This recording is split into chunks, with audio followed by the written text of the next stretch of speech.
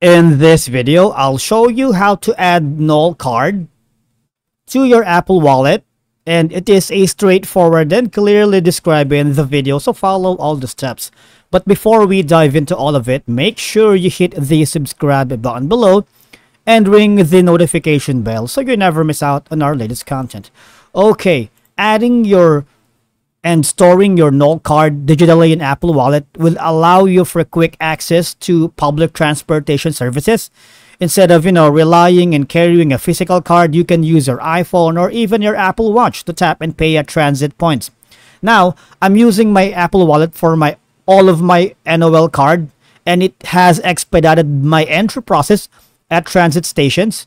A simple tap on my device on the reader can facilitate a quicker transaction compared to using a physical card. Alright, so how do we add NOL card to Apple Wallet? Simply, on your mobile device, open the um, Apple Wallet right here. Now, to set it up, simply click on the plus button here at the very top. Now, you need to tap the uh, transit card here, right? So when you click on the transit card, what will happen is simply you will have the options to uh, check if your NOL card are on these options right here. Okay. And if you see your NOL cards here, click on it right here.